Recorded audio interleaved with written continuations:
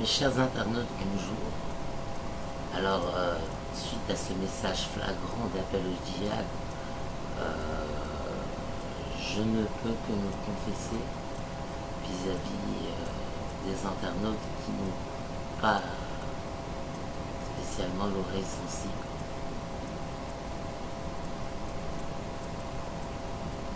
Vous voulez quoi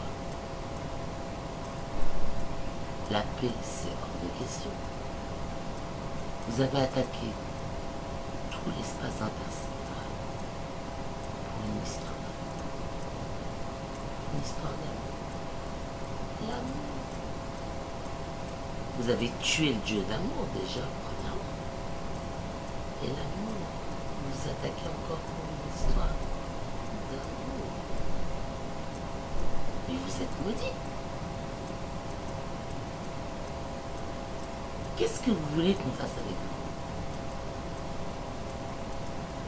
Qu'est-ce qu'on va faire avec des gens qu'on ne peut pas aimer, qu'on ne peut pas détester Qu'est-ce qu'on va faire Bien sûr que les mesures sont radicales. Bien sûr. Euh, moi, de mon ordre autrichien, on m'apprend pas que vous êtes un peuple de paix. Et de la Torah, c'est encore pire. La Torah annonce clairement que le peuple d'Israël, le peuple hébreu, est un peuple maudit. C'est ce que dit la Torah. Je ne m'en vais pas dans des traductions, des versions.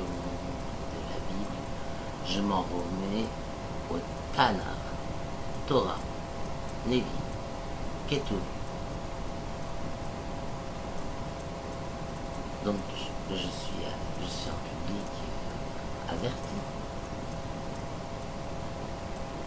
On ne m'apprend pas